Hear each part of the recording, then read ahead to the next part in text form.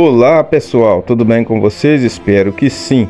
Sejam bem-vindos a mais um vídeo aqui do canal.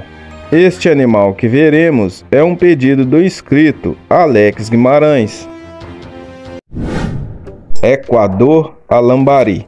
Nasceu no dia 24 de maio de 2012, com registro ALAE 203. Pai Caju de Brasília, de registro B58. Mãe Bambina Fívia Lambari, de registro AL AE 41.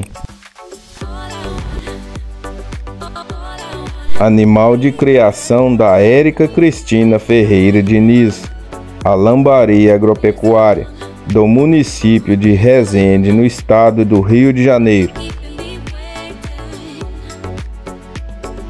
Tourinho lindo de pelagem clara, de bons aprumos, bom comprimento e estrutura corporal.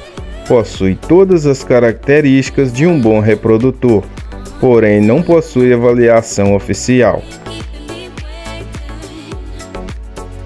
Animal que não possui muitas informações atuais. Foi reservado campeão júnior menor na Interlact 2013 e possui um pedigree de excelência na raça G, com animais de destaque em bom temperamento, excelente sistema mamário e caracterização racial. Na linha paterna, Caju de Brasília um grande pai da raça G, provado positivo para leite, com ótimo sistema mamário, filho de Vale Ouro de Brasília, com a Salina de Brasília.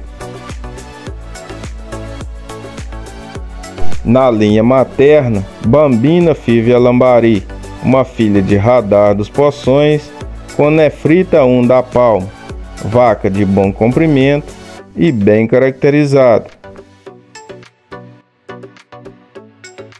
Um forte abraço a todos os inscritos aqui do canal. Fiquem com Deus e até o próximo vídeo.